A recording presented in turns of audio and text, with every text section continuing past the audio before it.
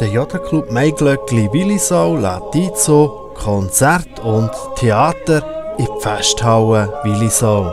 Am nächsten Samstag um halb zwei und am 8. am Abend und am darauffolgenden Mittwoch ebenfalls am 8. am Abend. Der erste Teil beschreitet der Jodlerclub Maiglöckli unter der Leitung von Sepp Bettig. Am Samstag gibt es Tanz bis in die Morgenstunde mit dem Echo vom Bienswald von Schöpfen. Im zweiten Teil erwartet sie das Lustspiel in zwei Akten von Carmelo Pesenti «Bauer sucht keine Frau».